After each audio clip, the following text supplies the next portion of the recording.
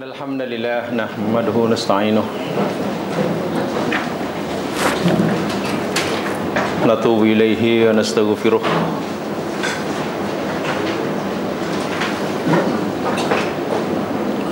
نعوذ بالله من شرور أنفسنا من سيئات أعمالنا من يهد الله فلا مضل له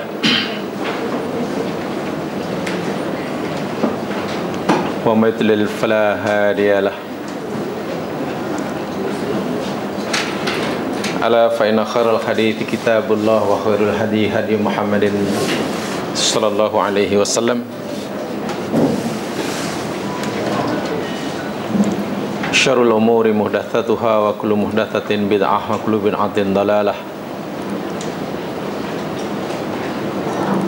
كل ضلالة في النار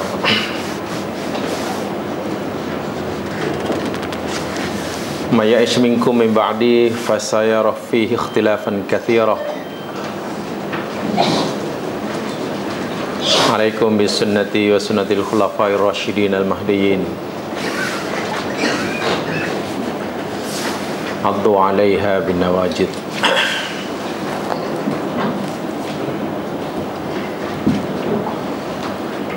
Muslimin muslimat rahimakumullah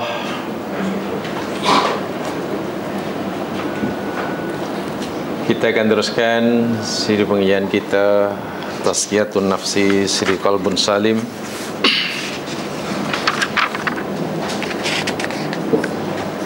Ini kita masih bicarakan tentang asifat al-mahmudah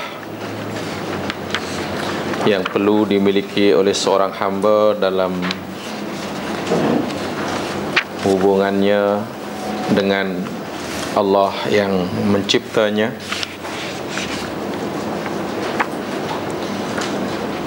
Sebagian ciri-ciri dan sifat itu seperti mana yang telah kita pelajari yakni mesti ada mahabbah perasaan cinta kepadanya at-ta'at ketaatan dan kepatuhan tanpa berbelah bagi al-khauf rasa takut yang juga perlu diimbangi dengan roja berharap al-muraqabah. Sentiasa merasakan bahawa dirinya diperhatikan oleh Allah dalam semua keadaan. Dalam semua suasana perbuatan amalan. Dan juga tidak kalah pentingnya seorang hamba wajib mempunyai sifat mahmudah yakni al-ikhlas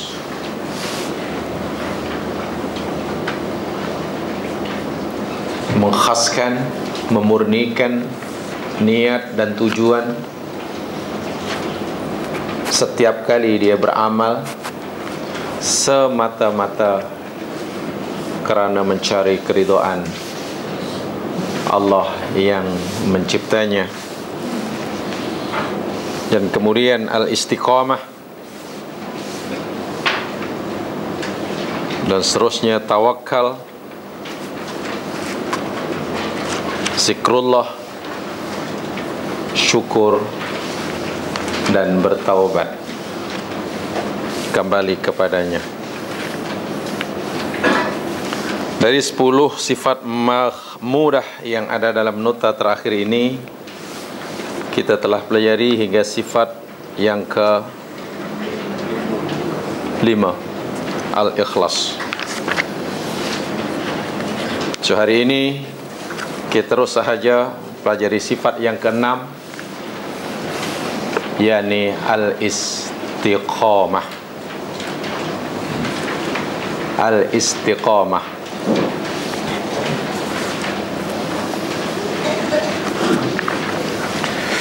Seperti biasa saya membacakan pengertian yang dicantumkan dalam nota kecil ini. Sebelum kita uraikan lebih lanjut apa kata Al-Quran dan bagaimana contoh yang diberikan olehnya.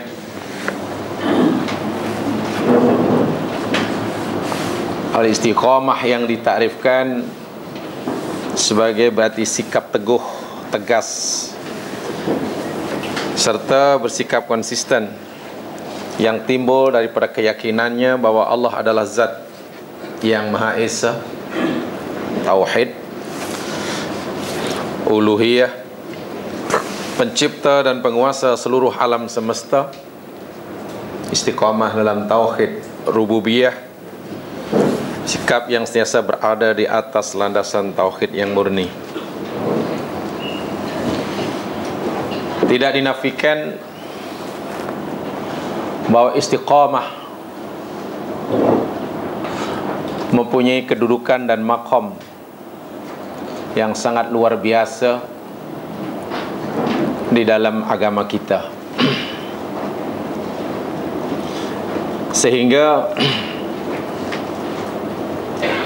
murid kepada Syekhul Islam Imam Ibn Taymiyah rahimahullah yakni Imam Ibnul Qayyim Al-Jauziyah telah menguraikan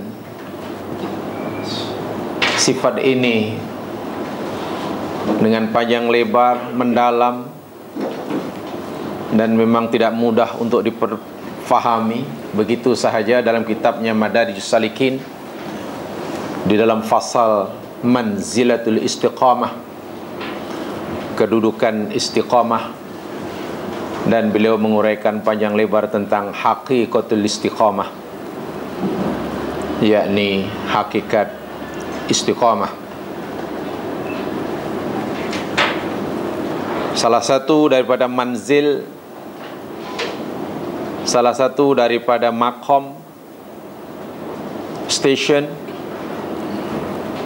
yang mesti dilalui oleh seorang salik jadi seorang yang berjalan menuju Allah Subhanahu wa taala selangkah-selangkah, setahap-setahap. Dan satu di antara stesen itu ialah manzilah al-istiqamah. Beliau menyatakan wa min manazili iyyaka na'budu wa iyyaka nasta'in hiya manzilatul istiqamah. Salah satu daripada manzil atau stesen Iyyaka na'bud wa iyyaka nasta'in kata Ibnu Qayyim Al-Jauziyah ialah manzil al-istiqamah. Beliau memandang begitu penting istiqamah ini tetapi daripada pelbagai ta'rif yang ditarifkan yang diberikan oleh ulama salafus salih ada takrif yang dianggap paling cantik paling hebat yakni tarif yang diberikan oleh Imam Ibn Rajab rahimahullah.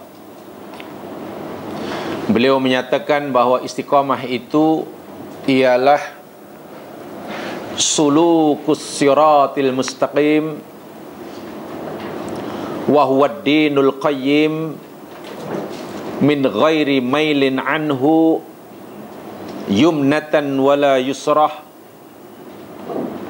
wa yashmulu dhalik fi'lal fi'lat ta'ati kullaha az-zahirata wal batinah wa tarkal manhiyati kullaha az-zahirata wal batinah.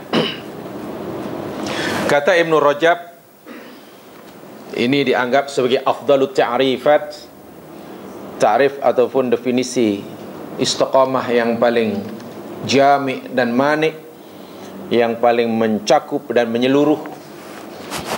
Beliau menyatakan istiqamah itu ialah sulukus siratil mustaqim berjalan melalui atau di atas as-sirat al-mustaqim yakni ad-din al-qayyim yakni agama yang lurus min ghairi mailin anhu yumnatan wala yusratan tidak condong ke kanan tidak condong ke kiri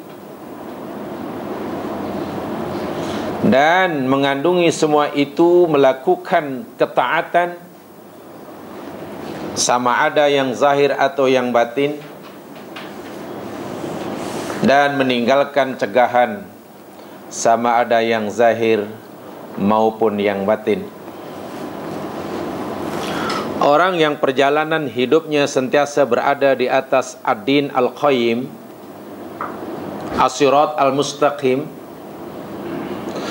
Yang beliau maksudkan yakni At-Tauhid. Mengesakan Allah. Semenjak ia balik Hingga kelak menemui Allah subhanahu wa ta'ala setiap langkah yang diayunkan, setiap perbuatan yang dilakukan, setiap ucapan yang dikatakan semuanya yakni dilakukan semata-mata ingin mengisahkan Allah Subhanahu wa taala. Apapun cabarannya, apapun halangannya, dia tidak toleh kanan, tidak toleh kiri. Orang yang sentiasa berada di atas tauhid memang perit, memang pahit, memang berat.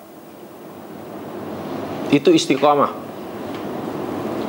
Dalam pengertian yang paling menyeluruh. Berpegang teguh kepada tauhid, yakni jalan yang lurus dalam apa keadaan sekalipun. Mungkin kita menghadapi risiko. Dan risiko itu tidaklah ringan. Situ adalah sangat berat. Mungkin kita gagal sesekali. Tetapi menarik Rasulullah sallallahu alaihi wasallam memberikan garis panduan dalam hal istiqamah ini. Sebagaimana dalam hadis sahih yang dirawikan oleh Imam Ahmad dalam musnadnya. Wa isnaduhu sahih ala syaratil Bukhari.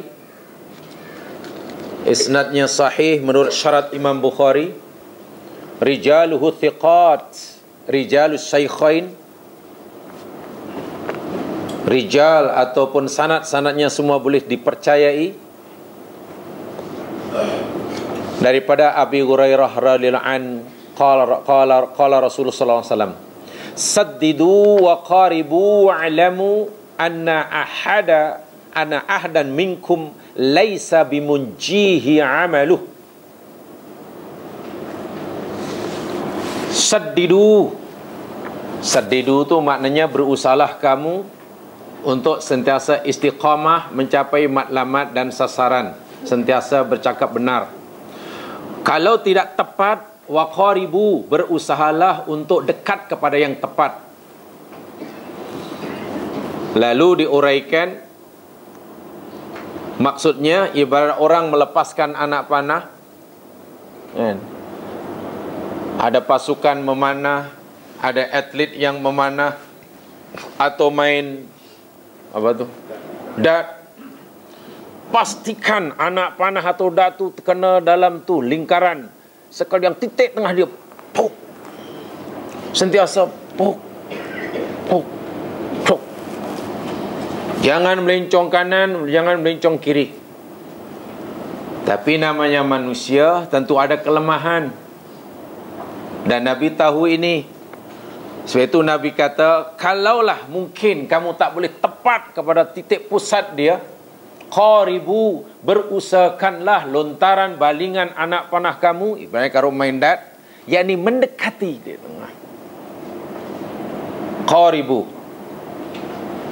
dan itu lakukan terus menerus jangan jemu-jemu. Kalau tidak tepat dekat dengan tepat. Kalau tak dekat dengan alhamdulillah tepat. Kalau tepat tu ajalah. Dan kamu perlu mengulang-ulangi Dan ketahui oleh kamu sesungguhnya seseorang kamu tidak akan dapat diselamatkan, tidak akan diselamatkan oleh amalnya pada hari kiamat. Ketahui oleh kamu bahwa amal kamu tidak boleh menyelamatkan kamu pada hari kiamat. Dalam matan yang lain dan ketahuilah amal seorang kamu tidak boleh memasukkannya ke dalam surga.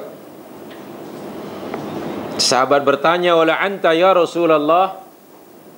Dan adakah Tuhan pun demikian juga ya Rasul maknanya engkau pun tidak masuk surga karena amal amalan engkau? Qal Nabi bersabda wala ana ya Aku juga tidak masuk surga karena amalan aku. Illa ayata ghammadani Allahu bi rahmatih wa fadlih. melainkan Allah Subhanahu wa taala limpahkan kepada aku kurnia rahmatnya dan anugerahnya. Di dalam hadis ini secara tidak langsung Nabi menjelaskan maksud istiqamah yang ditarifkan oleh Imam Ibn Rajab tadi yakni kalimat saddidu dan qaribu. Saddidu maknanya tepat. Al-wusul ila haqiqatil istiqamah wa huwa al-isabah. Fi jami'il aqwali wal a'mali wal maqasid setiap ucapan, tindakan, amalan, niat apa saja menepati hakikat tujuannya yakni lillah, lillah, lillah, lillah itu saddidu tetapi kerana manusia ini ada kelemahan di sana sini mungkin sesekali niatnya, amalannya, tindakannya tidak menepati akidah tauhid yang sebenar.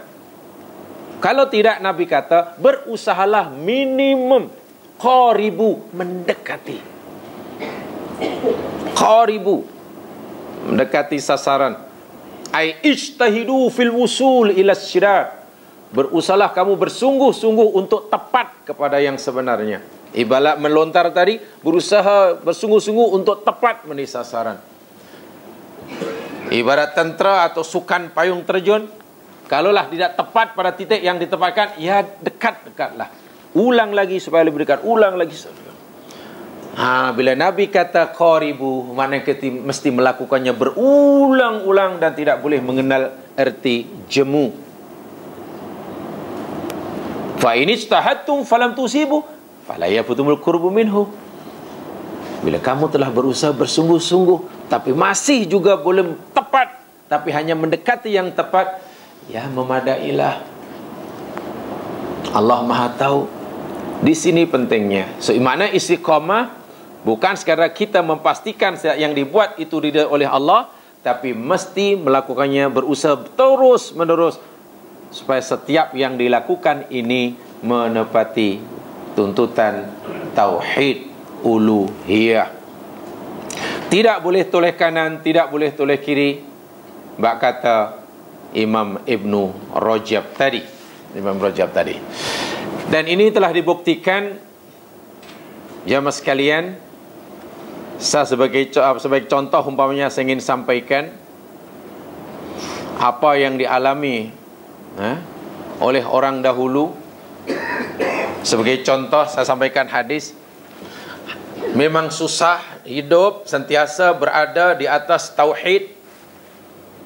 Karena setiap orang muslim pasti ada ujian Lebih-lebih lagi bagi mereka yang ingin kuat berpegang kepada kepercayaan akidahnya Semakin kuat berpegang kepada kalimah la ilaha illallah Semakin kuat ingin menterjemahkan ikrarnya inna salati wa nusuki wa mahyaya wa mamati lillahi rabbil alamin. Dalam kehidupan pasti semakin kuat ujiannya. Tapi orang yang istiqomah dia tidak mau mengalah. Paling tidak berusaha untuk dekat dengan sasaran sebagaimana kisah ini contoh orang istiqomah yang tidak mau mengalah karena dia yakin dia itu adalah tauhid. Kita tentunya mengenal seorang sahabat Nabi yang bernama Khabbab bin Al-Arati. Nama sahabat Nabi ini Khabbab bin Al-Arati.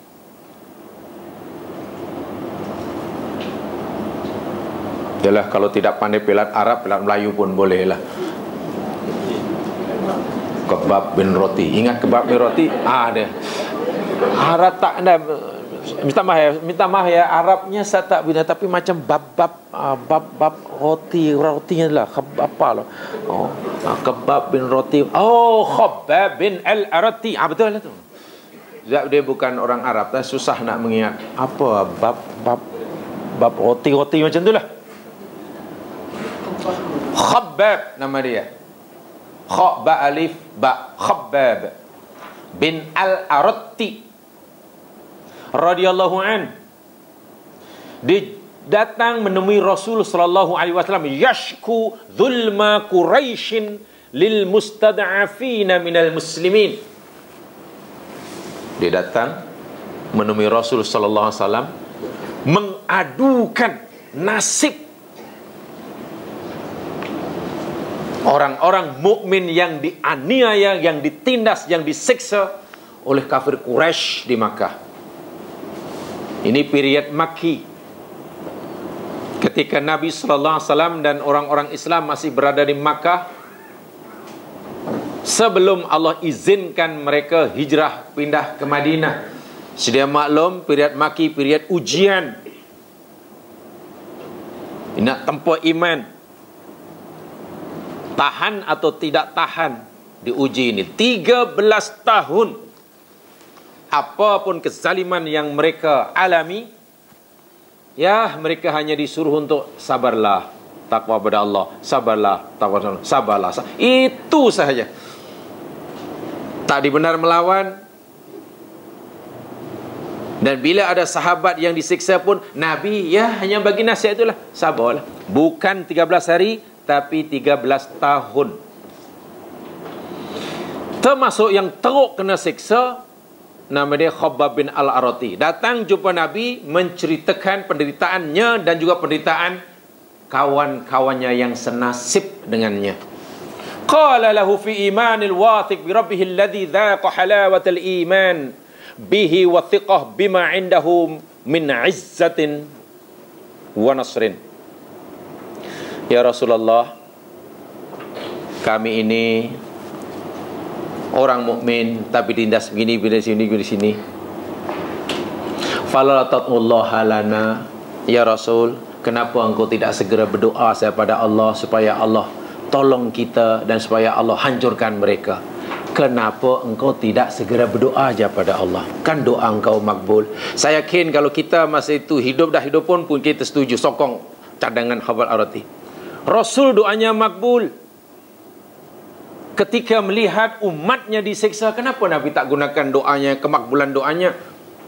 Jadi Khobab cadangkan ya Rasul apalah sudi kiranya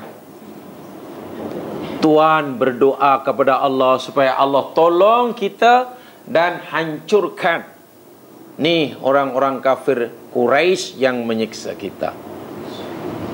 Apa jawab Nabi kepada Khobab bin Arati yang mungkin sudah mulai mulai merasa tak tahan diuji.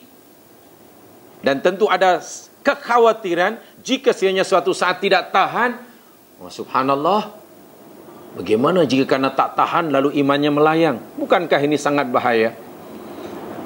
Dan kenapa Nabi pula tidak mau menggunakan kemakbulan doanya ketika itu?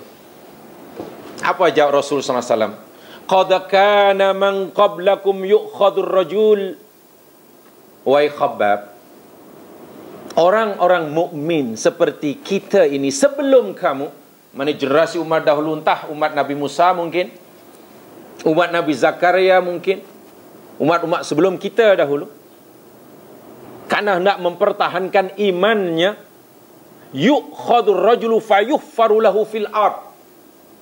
Dia ditangkap oleh musuhnya Fayuhfaru fil ard Lalu ditanam dalam bumi Yufar tu mana digali lubang, dimasukkan dalam tanah dalam lubang. Ditimbus hingga separas bahu dia. Hanya kepala aja yang nampak. Sebab itu apa yang dilakukan oleh orang-orang kafir pada masa itu? Fayuj'alu fiha fayuja'u bil minshar. Lalu orang-orang kafir datang kepada sambil membawa minshar. Minshar itu gergaji min syarun dalam bahasa Arab. Fayudau ala ra'si. Lalu gergaji dia diletakkan di atas kepala si mukmin ini. Fayuj alunisfain. Lalu digergaji sehingga kepalanya terbelah menjadi dua. Ini orang dahulu yang yang seiman yang iman seperti itu nasibnya seperti itu. Wa yum yaymashyatu bi amsyatil hadid. Sementara yang lain disikat rambut dia yang ada di kepala dengan sikat yang terbuat daripada besi selepas besi itu dipanaskan. Sikat besi yang dipanaskan menjadi bara api lalu disikatkan ke rambut. Agar rambutnya jadi rapi atau? Maduna lahmihi wa atsbihi ya tentulah mengelupas kulit darma sekali. Mati dia. Fama yasudduhu dzalik andini wahai khabab kata nabi kamu tahu tak? Mereka disiksa seperti itu sedikit pun. Tidak berkanjak daripada tauhidnya. Sedikit pun tidak dia toleh kanan toleh kiri. Dia terus tepat. Ibarat saya kata tadi umpamanya nak baling dat itulah sentiasa ketuk sentiasa tepat. Biar diketuk pun dia di apa di situ saja. Ibarat kapal terbang biar ada angin biar ada terus saja. Istiqamah. Wallahi demi Allah wahai khabab nabi bersumpah la yatamanna hadzal amr la yutimanna Allah hadzal la yatimanna hadzal amru hatta yasira raqibu min sana'a ila hadramaut wa la yakhafu illa Allah wa dhibu ala ghanami demi Allah pasti Allah akan menyempurnakan memberi kemenangan kepada agamanya ini. Suatu hari nanti sehingga bila agama ini telah diberi kemenangan, seorang pengembara akan merasa selamat dalam perjalanannya daripada Sana'a hingga Hadramaut. Ketika Nabi bersabda jemaah sekalian, kawasan antara Sana'a dan Hadramaut ini kawasan yang paling tidak selamat. Siapa yang lalu melalui tempat itu kafilah-kafilah niaga pasti dirompak. Mungkin ada yang dibunuh. Tapi demi Allah suatu saat Allah akan memberi kemenangan kepada agama ini sehingga kawasan yang sekarang paling tidak selamat menjadi kawasan yang selamat. Orang pada masa itu bebas pergi ulang alik Sana'a Yaman tanpa ada rasa takut. Waladhi walagunami bahkan kambing yang sedang dikembala pun tidak akan takut dimakan serigala. Nabi bagi perumpamaan. Tapi malangnya sayangnya kamu ini wahai khobab walakinnakum tastajilun. Tapi kamu ini nak cepat aja. Nak cepat senang aja. Bahasa kita seolah Nabi kata khobab kamu ni baru dibuat disiksa macam itu pun dah tak sabar. Tapi tahukah masa itu sebenarnya khobab disiksa jamaah sekalian? Yang disuruh baring di atas apa namanya besi yang panas sehingga besi yang panas tadi menjadi sejuk selepas semua cairan yang ada dalam tubuhnya meleleh. Jadi yang menjadikan besi sejuk yang bukan jadi cairan air yang keluar dari tubuhnya. Sehingga ini tak ada siapa yang tahu karena khobab pun tidak tunjuk pada siapa-siapa ke mana-mana bukan kemudian buat baju belakang tak ada. Dia disiksa seperti itu. Dan baru semua orang tahu pada zaman Umar ibn Khattab ketika Umar jadi khalifah dan ingin mengetahui Khabab, aku dengar dahulu kamu disiksa begini, begini, begini. Betul kau Khabab? Khabab sebenarnya tidak mau orang lain tahu. Itu urusan dia dengan Allah. Tidak perlu, kalau dianggap itu satu pengorbanan iman, takkan perlu ditujukan pada orang. Niatnya hanya karena Allah. Benar Muaz apa nama Habab sanggup saya itu semata-mata karena Allah bukan ingin pujian. Kan ibadah mesti karena Allah kan. Bukan malah dipamerkan. Kau tahu tak? Tengok tak? Tengok. Nampak tak? No. Tak. Memang kita jahat, kita merasa kerdil ya mas kan di hadapan sahabat yang punya jiwa besar seperti ini. Percayalah, rasakan kita terlalu kecil dan kerdil di hadapan sahabat yang sangat mulia dan hebat. Setelah didesak-desak oleh Umar, barulah Khobab menyelak bajunya dan ditunjukkan terkejut Umar bin Khattab. Karena rupanya bagian belakangnya ini tidak ada lagi kulit, tidak daging tapi yang nampak kerangka. Patutlah Khobab bin Al-Arati memohon kepada Rasul supaya Rasul menggunakan doanya mustajab. Mohon pada Allah supaya Allah tolong. Tapi Nabi kata, hujung hadis tadi, walakinnakum tastajilun khabab tapi orang seperti kamu ni asyik nak cepat menang aja nak cepat senang aja. Seolah-olah Nabi kata baru disiksa seperti itu karena iman pun dah tak tahan. Orang sebelum kamu dibelah kepalanya wahai khabab itu namanya istiqamah. Bukan hanya diuji dengan tawaran-tawaran duniawi yang sedikit. Bukan hanya diberi tawaran-tawaran, Masya Allah, hanya seratus ringgit, seratus ribu, atau paling banyak berapa? Sepuluh juta. Takkan hanya sepuluh juta pun melayang imannya. Sepuluh juta rupiah. Jangan 10 juta memanglah banyak. Jangan pula memanglah kita kuat, kuat. Seribu mana boleh seribu? Iman saya tidak boleh dibeli seribu. Alhamdulillah, ente istiqamah. Tapi kalau sejuta ringgit, saya boleh fikir lagi lah. Kalau sejuta, saya pertimbangkan. Itu bukan istiqamah. Itu apa namanya? Tak tahulah. Dibelah kepalanya. Istiqomah itulah jadi yang bak kata Ibnu Rajab tadi orang yang sentiasa berjalan di atas siratal mustaqim siratal mustaqim itu ad-dinul qayyim. Adil qayyim itu tauhid. Min ghairi mailin. Tanpa tengok toleh kanan toleh kiri toleh kanan. Lurus. Biar diketuk pun lurus. Khasnya dalam masalah akidah. Itu yang paling besar sekali dalam masalah akidah. Sebab bila dalam masalah akidah yang mas sekalian, seorang dah mampu istiqamah, ya tentulah dalam masalah-masalah yang lain menjadi mudah. Istiqamah melakukan yang disuruh menjadi mudah. Istiqamah meninggalkan yang ditegah menjadi ringan. Jika istiqamah dalam akidah telah berjaya. So itu ketika pindah ke Madinah, orang-orang yang punya kekebalan iman seperti ini, ya jangankan hanya disuruh puasa satu bulan, satu tahun, satu bulan. Jangankan hanya disuruh solat satu hari, satu malam lima kali. Jangankan hanya disuruh puasa Isnin Hamis. Jangankan hanya disuruh, Masya Allah, baginya sangat ringan. Sedangkan imannya diuji seperti itu pun, dia mampu bertahan. Iman segala-galanya. Sebab itu istiqamah yang terbesar sekali kata Imam Ibnu Rajab yakni istiqamah dalam akidah suluk ala siratil mustaqim ai ad-din al-qayyim hadis yang sampaikan tadi pada Abu Hurairah uh, Khabbab bin Al sendiri yang dirikan oleh Imam Bukhari dan juga Imam Ahmad dalam musnadnya dalam musnadnya dan banyak sekali contoh-contoh seperti ini. Itu sekira contoh. Dan Allah Subhanahu wa taala telah memberikan masalah yang masalah dalam Al-Quran. Yakni pahala orang-orang yang melakukan istiqamah ini. Sangat besar sekali.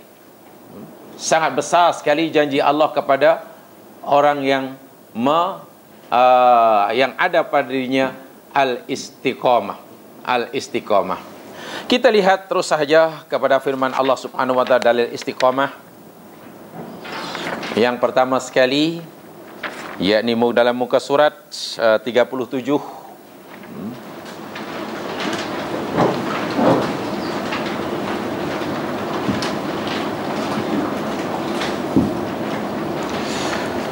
Ayat yang pertama itu surah Fussilat ayat 30 ini satu di antara dalil istiqamah. Sebenarnya banyak sekali dalilnya. Ini yang pertama kita baca. Tolong ikuti. A'udzu billahi minasyaitonir rajim. Innal ladzina qalu rabbuna ربنا الله ثم استقاموا.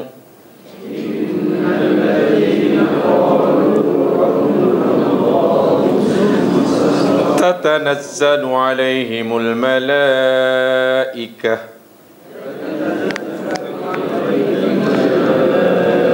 ألا تخافوا ولا تحزنوا.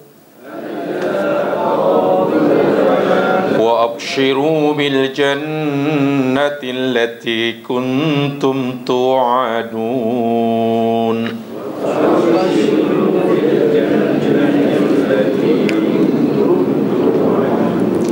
Innal ladina sesungguhnya orang-orang yang ber, oh, innal ladina sesungguhnya orang-orang yang qalu mereka berkata maksudnya mempunyai keyakinan ya.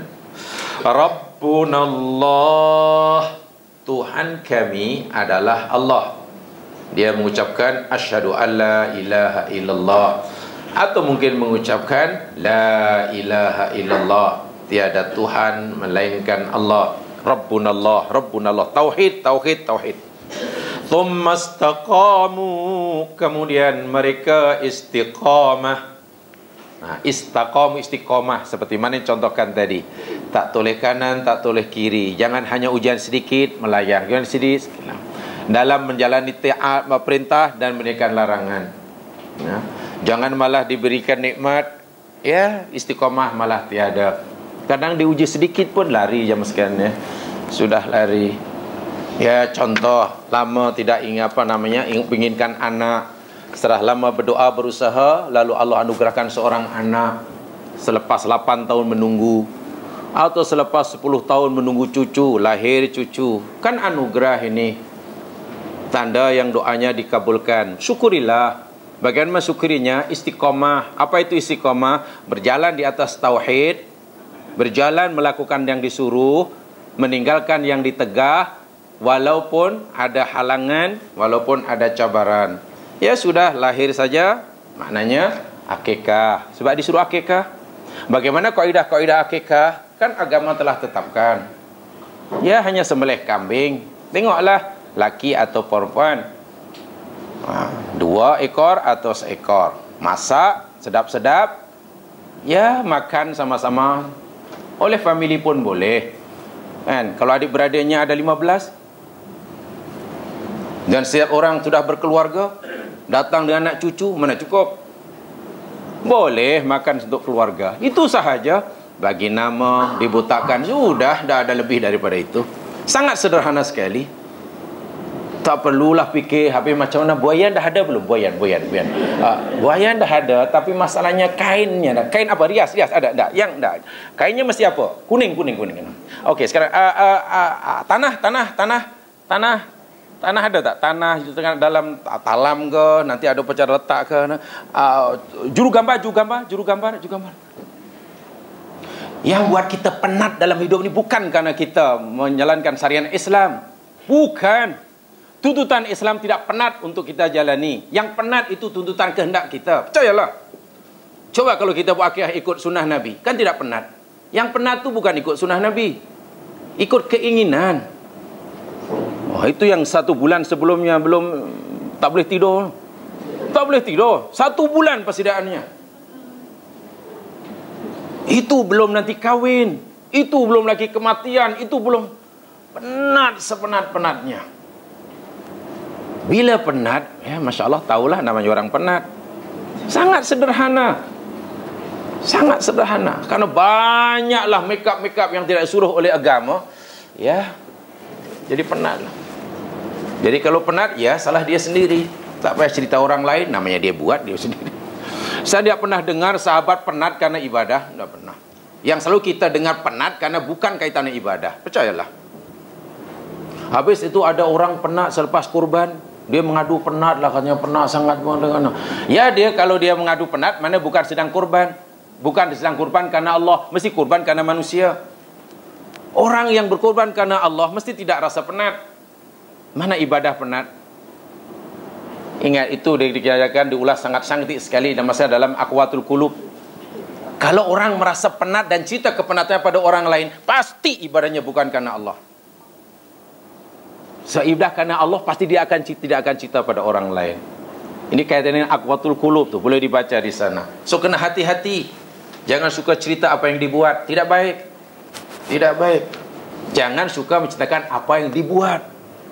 Yang telah dibuat jangan diceritakan, yang belum buat lagi jangan diceritakan. Saya kan, saya kan nanti kan saya kena kena saya kena. Tak payah lagi tak payah.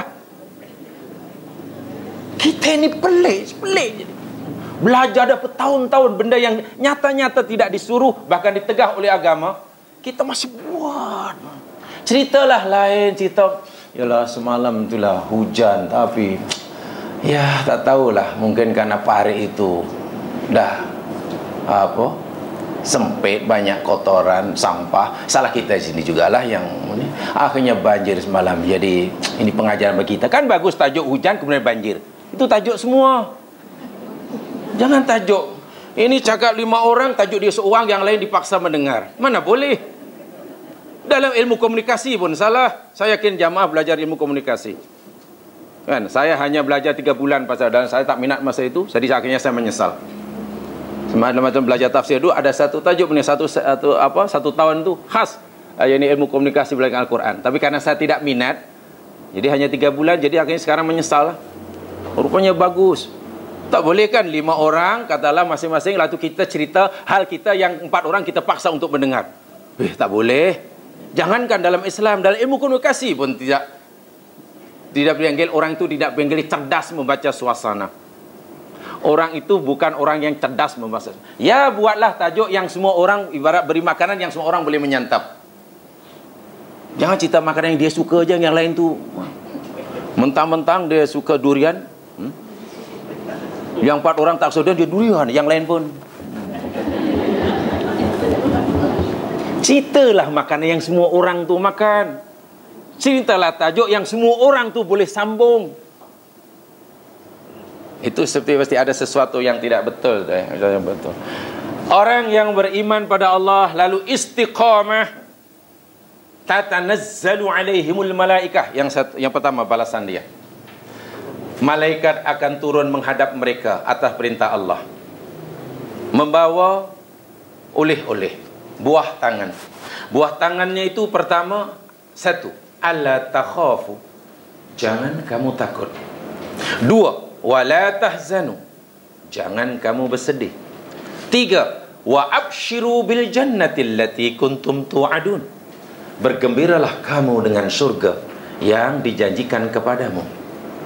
Empat nahnu awliya'ukum fil hayati dunya wa fil akhirah. Tu ayat 31 tu kami adalah pelindung kamu, pendamping kamu, penjaga kamu, penolong kamu atas perintah Tuhanmu dalam kehidupan dunia dan di akhirat. Walakum fiha ma tashtahi anfusukum walakum fiha ma tad'un. Dan bagi kamu akan apa dapat apa yang kamu sukai dan bagi kamu apa yang kamu minta. Tengok. Ganjaran istiqamah orang-orang yang yang di seperti mana Khabab bin Al-Arati atau mukmin yang sebelum kita yang digergaji kepalanya terbelah jadi dua tapi tetap dengan kalimah syahadahnya tidak menjual belikan imannya. Malaikat diutus oleh Allah untuk menemui orang ini kemudian menyampaikan beberapa apa khabar gembira. Khabar gembira itu yang pertama yakni jangan kamu takut tidak perlu takut menghadapi masa depan. Alhamdulillah dalam siri tazkirah kematian saya telah sampaikan ayat ini bagaimana keadaan seseorang ketika sakaratul maut berdasarkan hadis Nabi dan ayat Quran. Satu di antara dinyatakan bila orang dalam diambang kematian takut melihat masa depannya karena belum pasti. Nak pergi ke alam barzah, suruhnya nanti ke alam akhirat karena masa depannya belum pasti, timbul rasa takut. Setelah masa depannya ditunjukkan jauh lebih baik dari yang ditinggalkan, keluarga yang akan ditemunya di alam barzah jauh lebih baik daripada yang ditinggalkan, tempat tinggalnya jauh lebih baik daripada yang ditinggalkan, malaikat bagi tahu kamu tidak perlu takut. Tidak ada sesuatu yang lebih menggembirakan orang ini pada waktu itu melainkan apa yang dilihat di hadapannya. Itu dalam tazkirah kematian salah sampaikan begitu hadis Nabi wasallam. Jadi tidak ada ketakutan ketika nak mati. Biasanya bila orang nak meninggal melihat ke belakang yakni apa yang ditinggal di alam dunia, keluarganya, rumahnya, perniagaannya, kan projeknya yang masih uh, belum siap sedangkan keuntungan sudah depan mata. Macam-macam lah. Kan banyak tiket-tiket Asia yang sudah tempah belum pergi. Ya banyak kan satu tahun sudah ada jadual. Baju-baju yang ditempah yang sudah siap yang belum sempat dipakai. Weh banyak yang perlu lihat ketika melihat ke belakang sedih. Imam Ghazali pernah berkata, jiwa akan bertambah sakitnya ketika matinya hanya karena sehelai baju yang belum sempat dipakainya. Maksudnya apa? Ketika orang ingin memakai baju yang dibelinya, kan seronok dia membayangkan perutnya nanti aku pakai baju ini. Tiba-tiba belum sempat memakainya sudah terpaksa berpisah, jiwa akan bertambah sakit. Itu baru sehelai baju. Bagaimana kalau se Itu baru baju, belum kasutnya, belum bagnya, belum jam tangannya, belum rumahnya, belum belum belum belum. Bagi orang yang istiqomah, malaikat datang atas perintah Allah, la tahzanu. Anda tidak perlu sedih. Takkan hanya meninggalkan baju sedih. Hatta jika sekiranya kamu meninggalkan anak yatim kamu yang tak siapa yang mau menjaganya. Kamu ada meninggalkan harta yang banyak. Anak kamu masih yatim dan tak ada siapa yang kamu boleh percayai untuk menjaga hartanya untuk kepentingan anakmu, kamu tidak perlu sedih. Allah akan menjaganya. Begitu yang dirasakan oleh orang soleh dalam surah kafi. Dia meninggal, ada anak yatim dua orang, masih kecil, ada harta, malangnya ada siapa yang boleh dipercaya untuk mengurus hartanya. Pasti sedih memberikan kesejahteraan anak dia. Lalu diserahkan pada Allah dan Allah terima. Dan Allah terima. Jadi bila takut tidak ada, sedih pun tidak ada, kabar yang ketiganya kamu berhak bergembira dengan surga. Inilah balasan istiqomah. Balasan istiqomah, Masya Allah, tiga sangat besar sekali.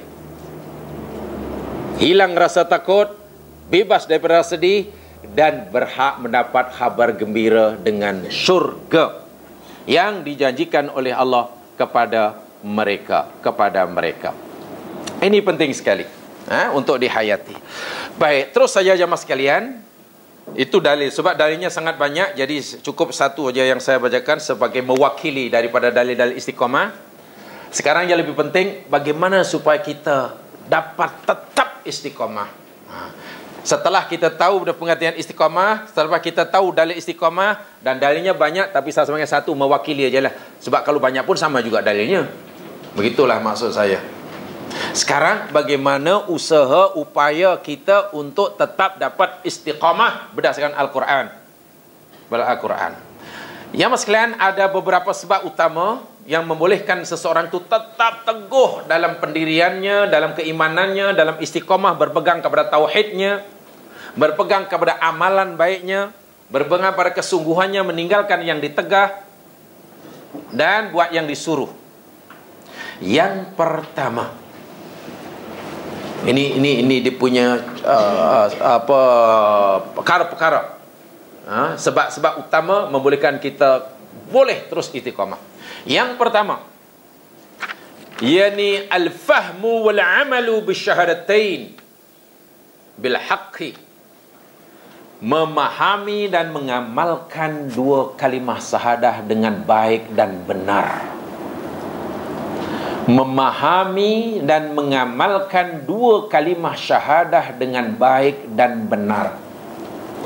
Saya katakan dengan baik dan benar sebab kadang-kadang kita ini dah baik tapi belum benar.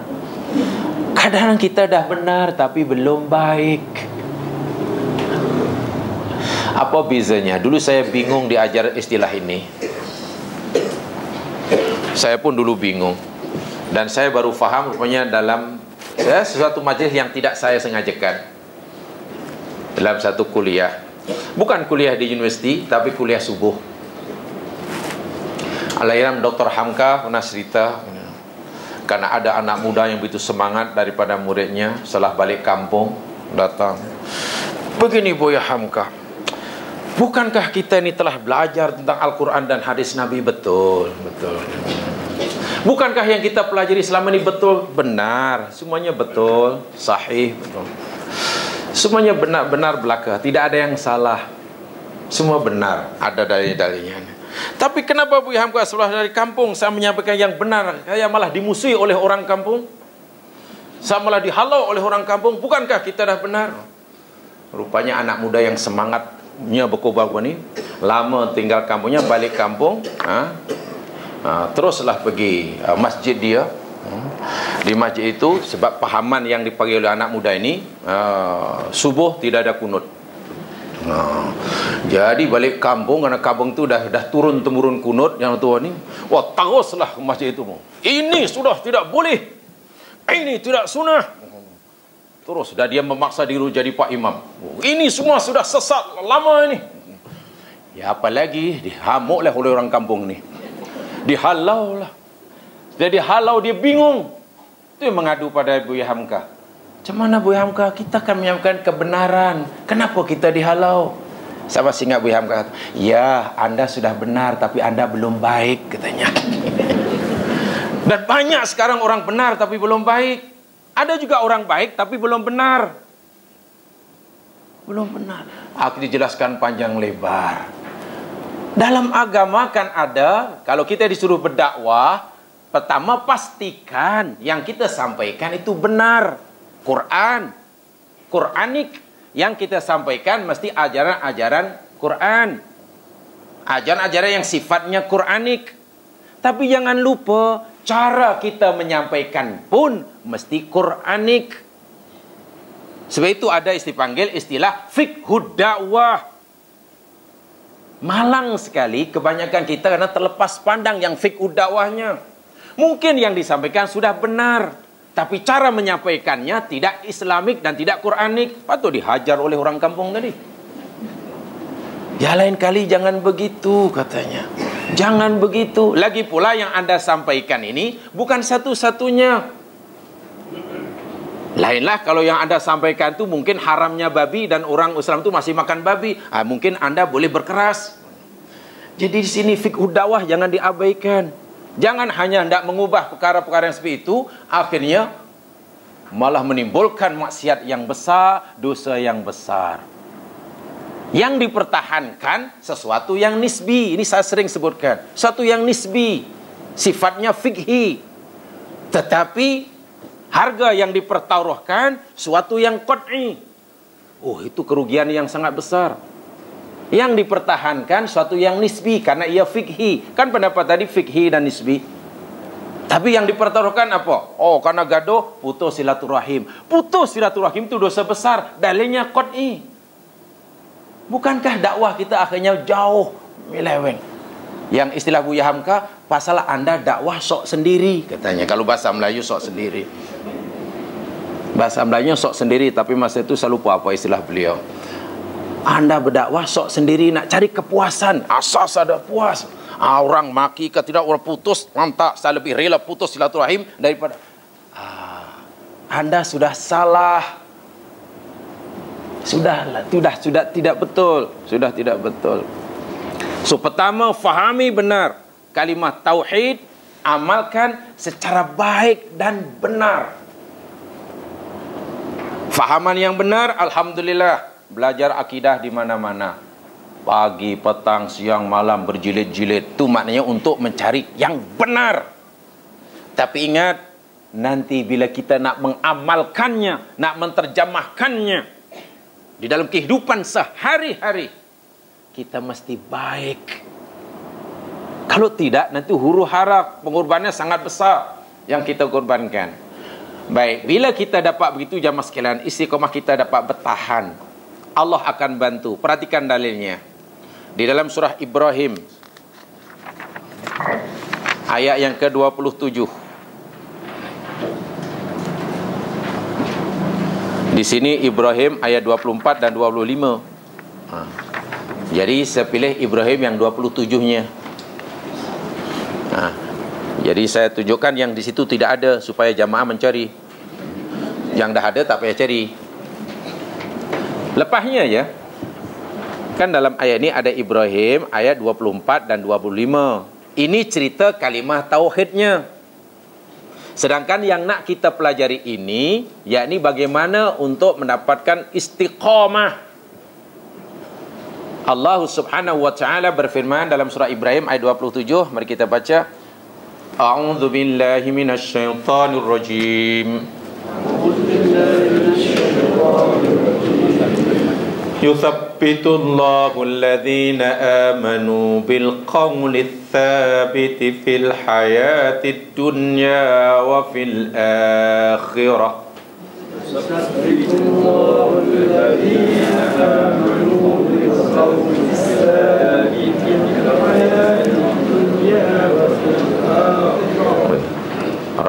tapi tak dengar Tak terpilih ke Ini sedang era pemilihan mungkin tak terpilih jadi Kecewa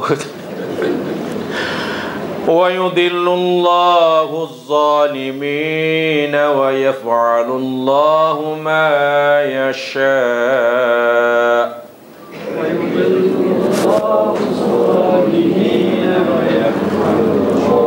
Yuthabbitullahu Allah menetapkan, meneguhkan Sabit-sabit. Alladzina amanu Orang-orang yang beriman itu Diteguhkan atas bil thabit. Dengan ucapan yang teguh, yang kuat, yang kokoh, yang sabit. Yakni kalimah la ilaha illallah. Bila? Fil hayati dunya wa fil akhirah. Dalam kehidupannya di dunia dan nanti juga di akhirat wa yudhillullahu zalimina wa yaf'alumullahu ma yasha Allah sesatkan orang-orang yang zalim di sini maksudnya orang musyrik dan Allah akan melakukan apa yang dia kehendaki. Tengok. Apa makna ayat ini? Ayat ini maksudnya seperti mana dalam hadis Bukhari dan Imam Muslim dari Barra bin Azib Rasul sallallahu alaihi wasallam bersabda al muslimu idza su'ila fil qabri yashhadu an la ilaha illallah wa anna muhammadar rasulullah Orang muslim itu apabila kelak ditanya di dalam kuburnya ia akan bersaksi bahwasanya tiada tuhan melainkan Allah dan Muhammad itu adalah utusan Allah. Fadzalika qauluh maka itulah kata Nabi maksud firman Allah yuthabbitullahu alladhina amanu bil qawli tsabit wa bil wa fil, fil hayatid dunya wa fil akhirah rawahul bukhari wa muslim daripada al barra bin azib jadi bila seseorang tu istiqamah dengan la ilallah di dunianya, Allah pun akan bagi tasbit. Tasbit mana keteguhan. Ditetapkan juga sabit-sabit. Dengan kalimah yang ia istiqamah semasa di dunia, di akhirat. Tasbit, tasbit. So bagaimana cara untuk dapat tasbit? Tadi fahami benar-benar kalimah syahadah lalu diamalkan tuntutannya secara benar dan baik. Secara benar dan baik. Itu yang yang pertama. Ya. Yang yang pertama. Qatadah al-Sadusi mengatakan yang dimaksudkan oleh Allah meneguhkan orang beriman di dunia adalah dengan meneguhkan mereka dalam kebaikan dan amalan saleh. Sedangkan di akhirat mereka diteguhkan dalam kubur yakni ketika menjawab pertanyaan malaikat munkar nakir perkataan semacam uh, diwarikan uh, qatadah diwarikan juga oleh ulama salafus salih. Itu sebagaimana yang dikutip oleh Imam Ibnu Kathir di dalam tafsirnya At-Tafsirul Azim ha? At-Tafsirul Azim jadi seseorang yang berbang pada kalimah tauhid kemudian diamalkannya dengan baik dan benar Allah pun akan bagi tasbih karena begitu di dunia, maka begitulah Allah tetapkan di alam barzah, begitulah nanti di akhirat. Itu yang pertama untuk mendapatkan istiqomah. Yang kedua, untuk mendapatkan istiqomah sebagai istiqomah terus menerus. At-tadabbur bil Qur'anil azim yakni mengkaji Al-Quran dengan menghayati dan merenungkan akan kandungan maknanya.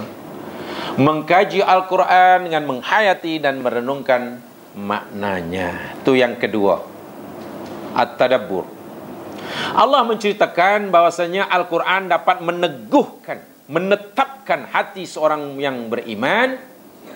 Karena Al-Quran itu adalah petunjuk Allah jalan yang lurus Mari kita lihat sejauh mana, sekuat mana Al-Quran boleh memberikan keteguhan, kemantapan, yang maksudnya istiqamah dalam hati seseorang.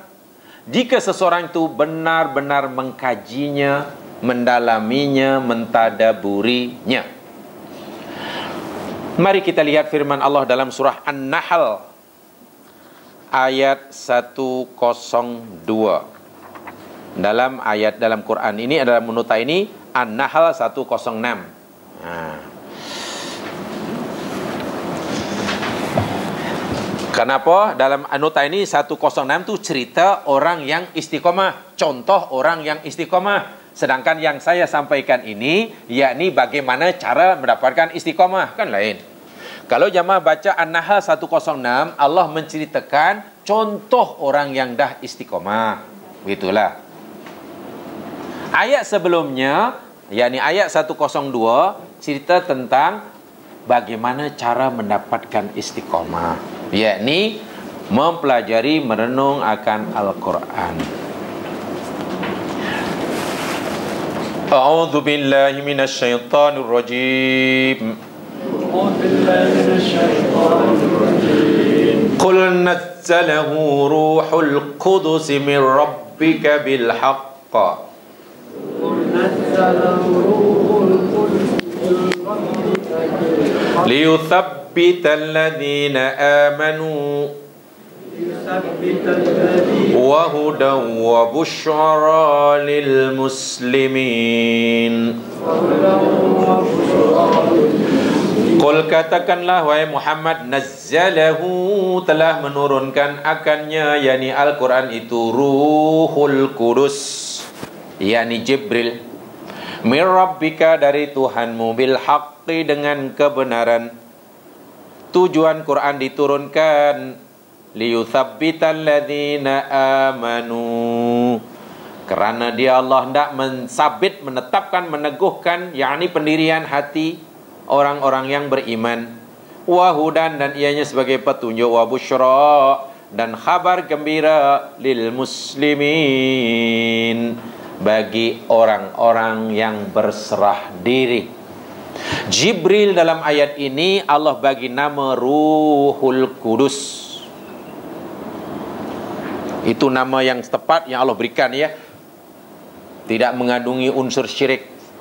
Saya kurang pasti orang menterjemahkan sebagai Holy Ghost ini boleh atau tidak saya kurang pasti. Sebab saya cari-cari dalam Quran tidak ada bunyi kul nazzalahu ghulihus min rabbik tak jumpa. Tak jumpa, carilah. Kul nazzalahu ghuli ghus. Tak jumpa. Yang ada ruhul kudus. Jadi ghuli ghus tak apa. Baik, kenapa Jibril diberi nama Ruhul Kudus oleh Allah Subhanahu wa taala? Ya. Agar beliau yakni menunjukkan bahawa malaikat Jibril ini disebut kudus oleh Allah agar uh, Jibril ini yakni dapat disucikan, terbebas, tersucikan daripada segala, segala uh, cacat dan aib. Bebas daripada sifat khianat, sifat bebas daripada sifat salah, ya, daripada sifat salah. Sehingga Jibril ini tidak mungkin apa namanya? Uh, uh, khianat wahyu. Jibril tidak mungkin korup wahyu. JB juga tidak mungkin karena dia kudus, dia tidak mungkin memanipulasi uh, ayat. Yang manipulasi ayat itu bukan Jibril. ayat dimanipulasi itu kan bukan kerja Jibril. Jadi uh, atau menyatakan Al-Quran sebagai uh, ucapan Jibril, tapi Jibril hanya me- menyampaikan Ha, itu boleh dilihat dalam tafsir agak panjang tentang penamaan Ruhul Qudus itu dalam Taisur apa namanya? Ha, Taisur Al-Karimir Rahman yang dikulang oleh Abdurrahman bin Nasir As-Sa'di atau dalam tafsir As-Sa'di nama dia. Ada sebutkan. Ha, tengok perhatikan ayat itu. Bahwasanya Allah Subhanahu wa taala mengutus Jibril menurunkan Al-Quran kepada Nabi dengan benar liyusabbital ladzin karena nak bagi tasbih. Lalu bagaimana Allah menurunkan Al-Quran kepada Nabi melalui Jibril ini? Dinyatakan di dalam ayat yang lain yakni uh, tidak diturunkan secara sekaligus tapi sikit sikit sikit sikit. Sehingga orang kafir dahulu protes kenapalah Quran ini tidak diturunkan sekaligus sahaja? Tapi sikit sikit sikit sikit memakan masa puluhan tahun 20 tahun lebih. Allah jawab dalam itu yang boleh rujuk nanti dalam surah Al-Furqan ayat 32 Ha, itu homework dia. Lihat saja nanti di sana ada jawapan dia. Kenapa tidak diturunkan sekaligus? Wa qala alladziina kafaru laula nuzila laula nuzila alai Qur'an jumlatan wahidah kata Allah. Kadzalik demikianlah kami turunkan Al-Quran ini sedikit-sedikit tidak dengan sekaligus ada tujuannya. Tujuannya kata Allah linuthabbita bihi fuadak warattalnahu tartila. Nah, jadi karena kami hendak sabitkan hati kamu.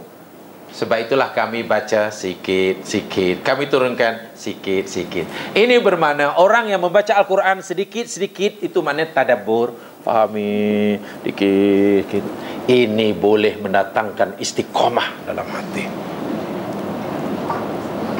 Sebab itu saya berpesan pada diri saya sendiri Bila saya ingatkan pada berpuasa khasnya Yang biasa kita rajin membaca Quran tolong baca Al-Quran ini di, di, di pelbagai uh, cara dia. Katalah kalau kita ada jadual baca Al-Quran, katalah satu minggu tiga kali umpamanya. Tak apalah kalau satu minggu tiga kali katalah masih terlalu sering, ya bolehlah satu satu hari tiga kali umpamanya. So, seminggu tiga kali terlalu sering, ha? tak apalah satu hari tiga kali katalah. Katalah pagi Kata pagi Kemudian tengah hari itu malam katakanlah. Katalah. Janganlah cara baca Al-Quran Tiga kali sehari itu Dengan metode yang sama. Pagi bacanya hanya baca aja. Wa qala alladziina kafaru laula laula nuzila 'alail qur'anu jumlatan wahidah. Kadzalika lanuthabbita bihi wa adak talnahu tartila. Sadaqallahul azim. Katalah. Itu cara dia mengejar ayat mengejar surat mengejar juzuk. Petang hari pun macam itu juga. Wa qala alladziina kafaru. Malamnya pun. Kalau pagi kita dah membaca semacam mengejar ayat tak apalah saya supaya nanti dapat dua muka surat. Tak apa tapi tengah hari kena ditukar. Yang tengah ini saya tidak mengejar jumlah ayat tapi saya nak baca ayatnya dan karena buka saya ini bukan orang Arab dan tak tahu bahasa Arab, saya nak sambil baca terjemahnya sekali. Wa qala ladina dan berkatalah orang kafir, kenapa Quran itu tak di Oh, oh, oh. Ha itu tengah harinya. Malamnya jangan seperti mana pagi dan petang. Cari lebih daripada itu. Nampaknya ini terjemahan tu tak begitu banyak saya dapat maklumat. Coba bagaimana ya penjelasan tafsirnya. Oh, oh, oh. Ha, macam itulah. Pagi mungkin boleh baca empat muka surat. Tengah hari mungkin hanya setengah muka surat. Malam mungkin satu ayat. Kalau begitu dilatih jemaah sekalian. InsyaAllah. InsyaAllah saya yakin. Hati akan menjadi kuat. Tapi kalau cara bacanya sama aja. Sama aja mengejar mengejar bilangan surat kan. Ini mesti khatam ni mesti khatam ni. Ini khatam ni. Ulun semua akhirnya ulun wala la dilaka ulun ulun ulun tatira huda orang ni. Ayo. Tak kalau tiga kali katalah kita ada peluang baca. Ha? Kalau kali yang pasti kena beza lah. Kita sendirilah yang yang yang Minta maaf jamaah sekalian. Ya, ini ini ini setiap kita wajib begitu. Ini pergi sangat-sangat berkesan. Saya sendiri pun begitu. Saya saya usahakan untuk berbeza. Biasanya kalau sempat katalah sebelum subuh atau biasanya lepas subuh.